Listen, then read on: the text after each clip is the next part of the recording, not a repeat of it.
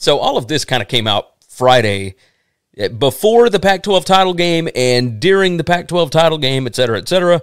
It appears that Miami is getting their ducks in a row. They are going hard after it's not official yet, but it looks like it will be soon. Clemson's athletic director, Dan Radakovich, uh, is possibly going to Miami. And him coming in, he's going to be the highest paid AD in the country, uh, making I think three million or more per season, which is kind of crazy, kind of crazy. But he's possibly bringing with him Mario Cristobal from Oregon. Now, none of this is confirmed. This is all rumor. Again, Cristobal played at Miami, has family that lives in Miami. He is Miami. Like that's what he is. Miami is not what Oregon is in today's college football, but much the same way that we saw with USC, if they are prepared to make an investment into the program and really go after this thing. Does that surprise you that Cristobal and, and old Dan from Clemson would make their way down to Miami? I, I think it's surprising that they almost have a deal in place, or they're going hard after Dan, and they still haven't fired Manny. How like, how shitty is that, is by job, the way? This is a job that's not open right now. Like it is currently not open. It's so ridiculous. And they already have their next head coach, and this is not like a coach in waiting situation. It's so it's so awful. Like, like, like I'm okay with behind the scenes doing what you got to do to kind of get a feel for who you're going. But once you have an idea, I've got a list of names. I'm comfortable with these names. All right. Then you fire your coach yes. so that he can move on with his life. But leaving him sitting in limbo is just a shit thing to do. Yes. This school is proven to be just about as awfully ran as anything I can ever imagine. I mean, there are people at Tennessee and Knoxville that are that are laughing at Miami for how poorly this is going. It's it's fairly ridiculous. You know, hey, Casey jumped in. What's up with the DB coach for Oklahoma recruiting for USC?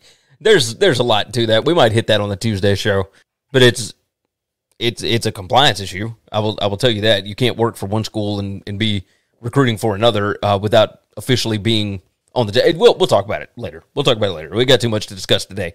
But yes, it, Miami. Uh, we we kind of saw USC doing this for a long time with Clay Helton, right? Like they messing around behind the scenes. Texas kind of did it with Tom Herman. It was, uh, you know, we you're the coach. But if we can get this guy, eh, you're probably not going to be the coach anymore.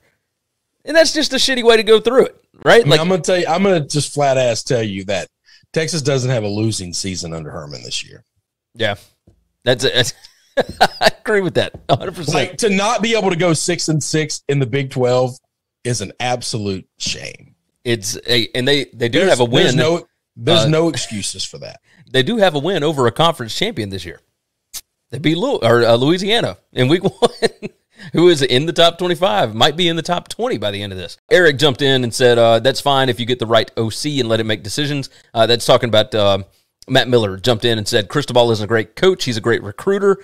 That is true. And Eric said, That's fine if you get the right OC and let him make decisions.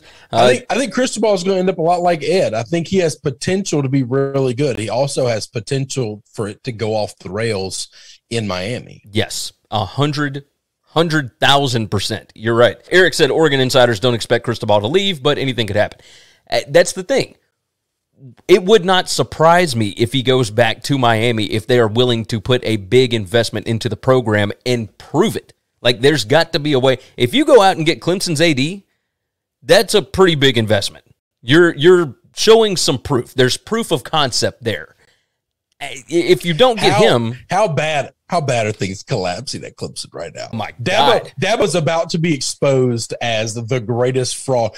People made fun of Ed O, and people called him a fraud for 2019. That the we the veil is about to come off the face of Dabo and Clemson because I've told you for a long time. I think you believe this too. I don't know this. I think I think I think Venables was the man holding that entire program up most certainly the last two seasons. But it, it wasn't no, just that. Think, like I if think you, some of, I think some of those championship years too. Uh, yeah, that's that's part of it. Like he's always been built on great coordinators. Right? That's it's what it's always been. If he can go out and get some more But really good it coordinators, he was always built on great coordinators. It was he's he's had this one coordinator his entire time there. And Well- all he had to do was worry about the offense. no, Brent was. uh God, they brought they had somebody else before Brent. Da-da-da-da, Pulling up the Wikipedia. Not long. Uh, he's. I mean, he's been at at Clemson for a minute since twenty. I know you're right, twenty twelve. So, yeah, Yeah, he's, he's been Brent- there for. Brent was there almost the entire time. Yeah, Dabo's been there what twelve? He's been there since two thousand eight, like Oh, middle no, of two thousand eight. yeah. So, so we hired him uh, in the 2012 Well- season. Yeah, it's kind of since the championship started. Yes, yes. He's been there. He's been there basically Dabo's entire career. I think, and that's when the ship started to turn because when Dabo first got there, they weren't great. It Right. took a little while to quote unquote build it. Well, who would he bring in that started building it? That you are not uh, incorrect on that. So Casey said Clemson will bounce back, in my opinion, not because Dabo is a good coach, but because it's a big brand. Well, it's a big brand now, They weren't a big brand before Brent. right?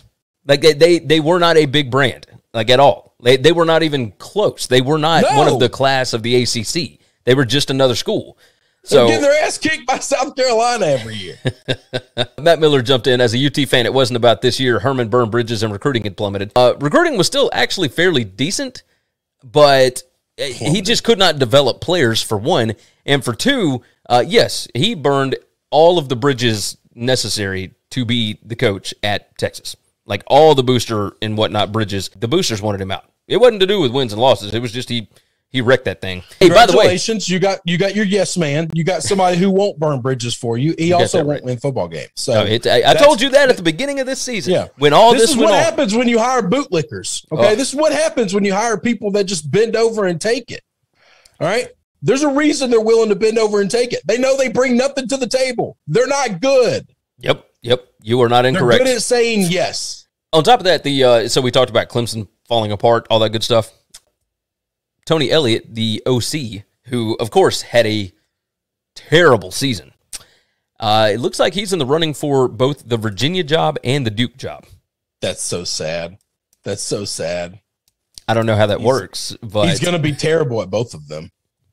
Eric jumped in by the way. Said Tom Herman to Oregon as OC. Uh, Herman's Tom come Herman's out. staying in the NFL. yeah, he said he's staying in the NFL. Now he's he's just an analyst in the NFL right now, isn't he? Or a, Yeah, a but he will, he will work his way. He will work his way up. This was his first year in the NFL. Yeah. NFL coaches. The, it- the NFL is a very tight knit group. Okay, it's it's kind of hard to break in there. That there's a reason that all of the greats all have the same last name as former greats. There's just nepotism's a bitch in the NFL. All right, It's true. it, and is so true. trying to break into that, yeah, I mean it's just a hard thing to do.